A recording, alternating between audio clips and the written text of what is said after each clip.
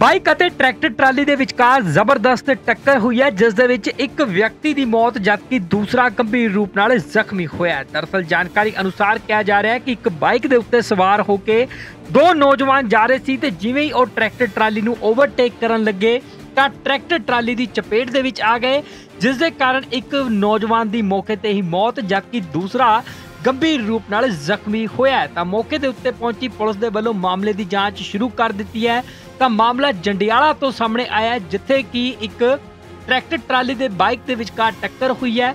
Overtake ਕਰਦੇ ਸਮੇਂ ਇਹ ਹਾਦਸਾ ਵਾਪਰਿਆ। ਹਾਲਾਂਕਿ ਕਿਹਾ ਜਾ ਰਿਹਾ ਜਿਵੇਂ ਹੀ ਬਾਈਕ ਸਵਾਰ ਦੇ ਵੱਲੋਂ ਓਵਰਟੇਕ ਕੀਤਾ ਜਾ ਰਿਹਾ ਸੀ, ਤਾਂ ਟਰਾਲੀ ਦੀ ਚਪੇਟ ਦੇ ਵਿੱਚ ਆ ਗਿਆ, ਜਿਸ ਦੇ ਕਾਰਨ ਦੋਵੇਂ ਹੀ ਹੇਠਾਂ ਗਿਰ ਜਾਂਦੇ ਨੇ ਅਤੇ ਸੜਕ ਦੇ ਉੱਤੇ ਗਿਰਨ ਕਾਰਨ ਕਿਹਾ ਜਾ ਰਿਹਾ ਕਿ ਇੱਕ ਨੌਜਵਾਨ ਦੀ ਮੌਤ ਹੋ ਗਈ ਹੈ ਹਾਲਾਂਕਿ ਪੁਲਿਸ ਦੇ ਵੱਲੋਂ ਮਾਮਲੇ ਦੀ ਜਾਂਚ ਸ਼ੁਰੂ ਕਰ ਦਿੱਤੀ ਗਈ ਹੈ ਤੇ ਟਰੈਕਟਰ ਟਰਾਲੀ ਜੋ ਹੈ ਉਹ ਆਪਣੇ ਕਬਜ਼ੇ ਦੇ ਵਿੱਚ ਲੈ ਲਈ ਹੈ ਤੇ ਹੁਣ ਅਗਲੀ ਜਾਂਚ ਸ਼ੁਰੂ ਕਰ ਦਿੱਤੀ ਹੈ ਤਾਂ ਅੰਮ੍ਰਿਤਸਰ ਤੋਂ ਇਹ ਮਾਮਲਾ ਸਾਹਮਣੇ ਆਇਆ ਹੈ ਜਿੱਥੇ ਕਿ ਇੱਕ ਬਾਈਕ ਅਤੇ ਟਰੈਕਟਰ ਟਰਾਲੀ ਦੀ ਜ਼ਬਰਦਸਤ ਟੱਕਰ ਹੋਈ ਹੈ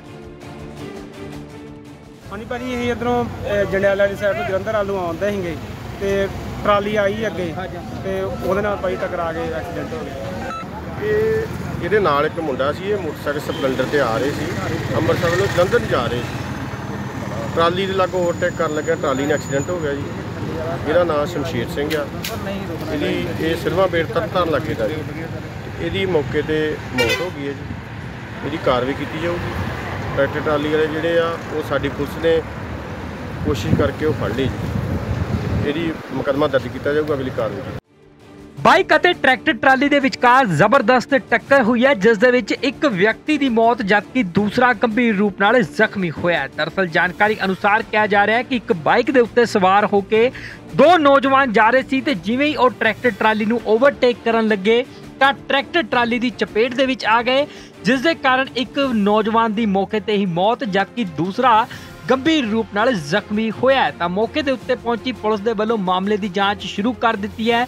ਤਾਂ ਮਾਮਲਾ ਜੰਡਿਆਲਾ ਤੋਂ ਸਾਹਮਣੇ ਆਇਆ ਜਿੱਥੇ ਕਿ ਇੱਕ ਟਰੈਕਟਰ ਟਰਾਲੀ ਦੇ ਬਾਈਕ ਦੇ ਵਿਚਕਾਰ ਟੱਕਰ ਹੋਈ ਹੈ। ਓਵਰਟੇਕ ਕਰਦੇ ਸਮੇਂ ਇਹ ਹਾਦਸਾ ਵਾਪਰਿਆ। ਹਾਲਾਂਕਿ ਕਿਹਾ ਜਾ ਰਿਹਾ ਜਿਵੇਂ ਹੀ ਬਾਈਕ ਸਵਾਰ ਦੇ ਵੱਲੋਂ ਓਵਰਟੇਕ ਕੀਤਾ ਜਾ ਰਿਹਾ ਸੀ, ਤਾਂ ਟਰਾਲੀ ਦੀ ਚਪੇਟ ਦੇ ਵਿੱਚ ਆ ਗਿਆ, ਜਿਸ ਦੇ ਕਾਰਨ ਦੋਵੇਂ ਹੀ ਹੇਠਾਂ ਗਿਰ ਜਾਂਦੇ ਨੇ ਅਤੇ ਸੜਕ ਦੇ ਉੱਤੇ ਗਿਰਨ ਕਾਰਨ ਕਿਹਾ ਜਾ ਰਿਹਾ ਕਿ ਇੱਕ ਨੌਜਵਾਨ ਦੀ ਮੌਤ ਹੋ ਗਈ ਹੈ। ਹਾਲਾਂਕਿ ਪੁਲਿਸ ਦੇ ਵੱਲੋਂ ਮਾਮਲੇ ਦੀ ਜਾਂਚ ਸ਼ੁਰੂ ਕਰ ਦਿੱਤੀ ਗਈ ਹੈ ਤੇ ਟਰੈਕਟਰ, ਟਰਾਲੀ ਜੋ ਹੈ ਉਹ ਆਪਣੇ ਕਬਜ਼ੇ ਦੇ ਵਿੱਚ ਲੈ ਲਈ ਹੈ ਤੇ ਹੁਣ ਅਗਲੀ ਜਾਂਚ ਸ਼ੁਰੂ ਕਰ ਦਿੱਤੀ ਹੈ। ਤਾਂ ਅੰਮ੍ਰਿਤਸਰ ਤੋਂ ਇਹ ਮਾਮਲਾ ਸਾਹਮਣੇ ਆਇਆ ਹੈ, ਜਿੱਥੇ ਕਿ ਇੱਕ ਬਾਈਕ ਅਤੇ ਟਰੈਕਟਰ, ਟਰਾਲੀ ਦੀ ਜ਼ਬਰਦਸਤ ਟੱਕਰ ਹੋਈ ਹੈ।